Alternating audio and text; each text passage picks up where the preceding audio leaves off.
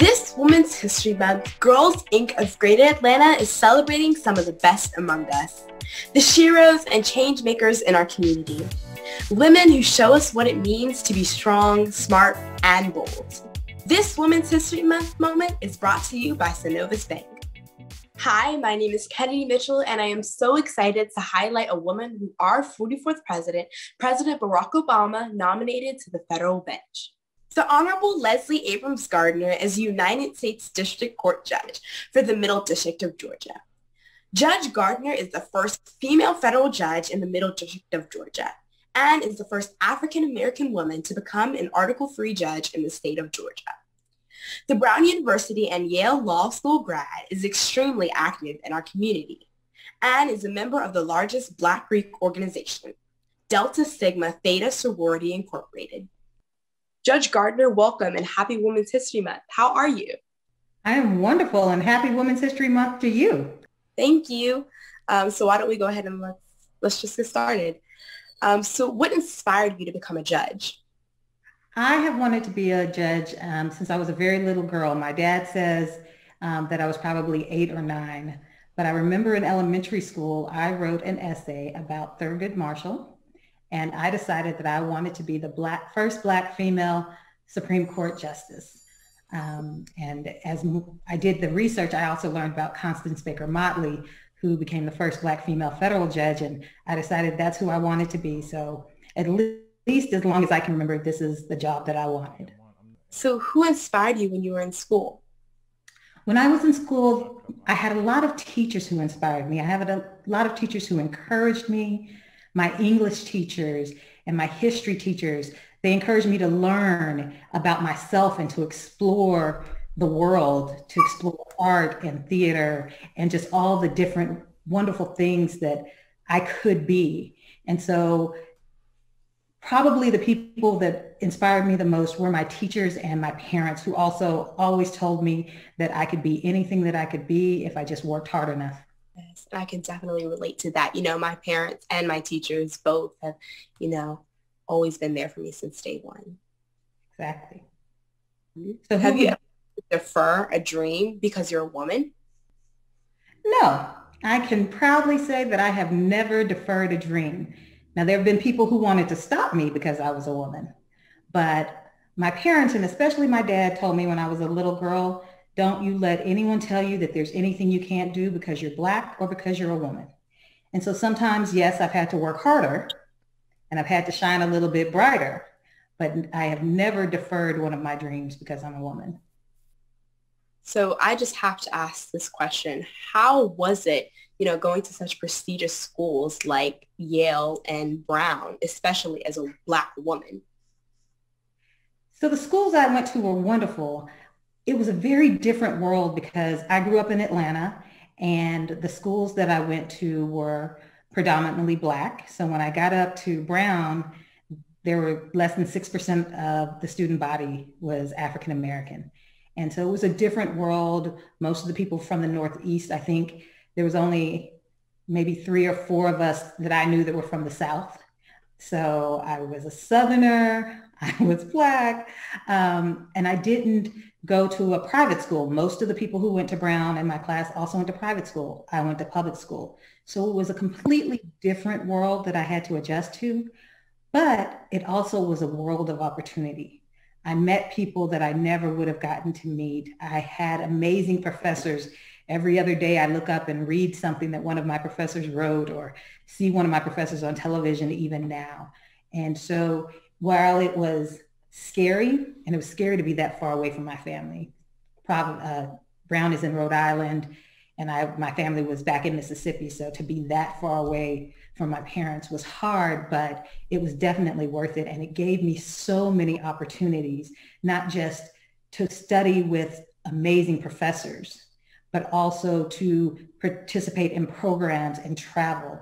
When I was at Yale, for example, I got to go and study in East Africa for um, a semester, which was an amazing experience. So Brown and Yale, what they did for me more than anything else was opened up the world and made it so much bigger.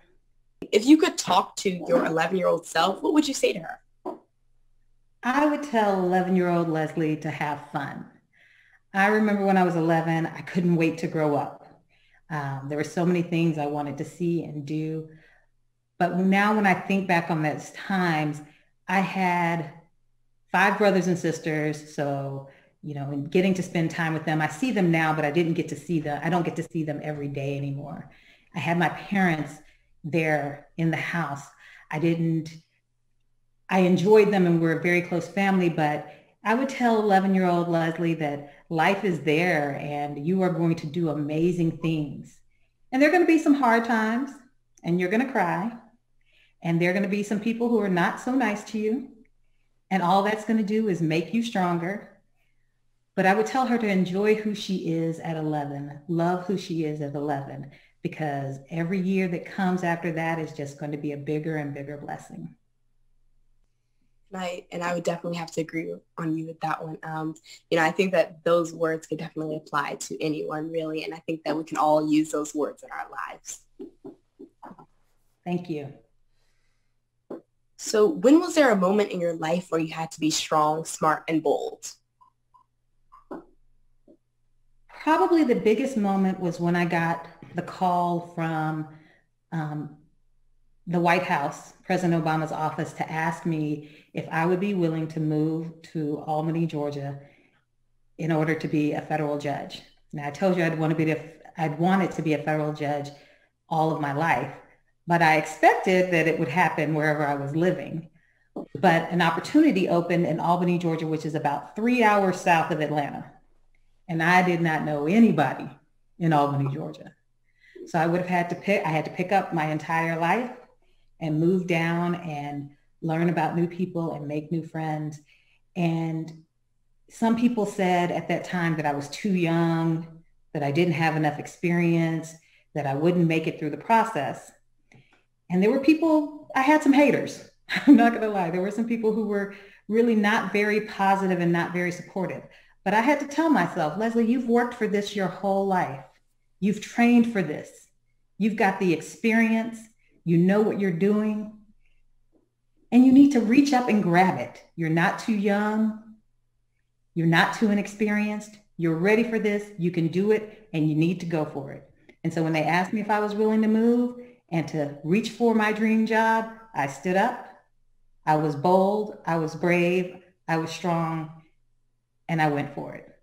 Wow. And here I am. What is your advice to recover on a setback or a failure? I try to see every setback and fa- failure as an opportunity. Whenever something happens, I would say take a moment. First of all, it's okay to feel bad about it. It's okay to feel sad. It's okay to feel embarrassed. It's your emotions are given to you for a reason. So allow yourself a moment to feel what you feel and then let your brain kick in and say, what happened here? Is there something I could have done different? If there's something I could have done better. Next time I'm confronted with this, what will I do? And use that opportunity to say, okay, life goes on. Nothing has been destroyed. Nothing's been broken that can't be fixed. Do my best to repair it if I can, but make sure the next time it comes up, I'm ready.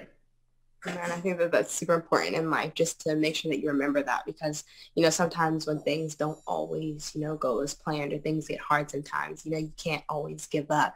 You need to keep on fighting and that's super. Exactly. Yes. Well, I just wanted to say thank you so much, Judge Gardner. Um, you are definitely, you know, a big service um, in our community. And I just want to say, you know, you are indeed strong, smart, and bold. Thank you, Kenedi. And so are you. It is such a pleasure to meet you and to speak with you. And I cannot wait to see what you do to continue to change this world. Thank you so, so much. Girls Inc. of Greater Atlanta is able to provide great programming and resources because of our kind sponsors. This Women's History Month moment is made possible thanks to our friends at Synovus Bank. Well done, Kenedi. Thank you for leading that amazing interview with Judge Gardner. We love supporting dynamic girls like you, especially during Women's History Month. Hi, everyone. My name is Chrissy Capri, and I work within Synovus Bank's community banking team as a commercial banker. As a community bank, Synovus has the desire and the privilege to be able to support amazing organizations like Girls Inc. because we share in the same belief that investing in and empowering young ladies today will produce the great leaders of tomorrow. Much like Girls Inc., Synovus was founded in the 1800s, 1888 to be exact. Our humble beginnings date back to a Georgia textile mill and a single act of kindness. One day, a worker's hard earned savings spilled from the hem of her dress after it became entangled in a factory machine. Taking notice, an executive offered her a secure place to put her money in the company vault. He also offered to give her some interest for those monies, a service soon extended to all workers at the mill. Their deposits made the beginning of a company that would become Synovus. Here, 130 years later, Synovus is proud and privileged to be able to support companies within our community. We know that you matter, and we know that the support you get matters because here matters. We stand on that strong foundation today, knowing that the principles of good character, integrity, and supporting our communities in which we serve is valuable to all. We thank you today for tuning in, and we hope that you will stand with us in supporting this amazing organization that inspires all young girls to be smart, to be bold, and to be strong. To learn more about Girls Inc. of Greater Atlanta, check us out online.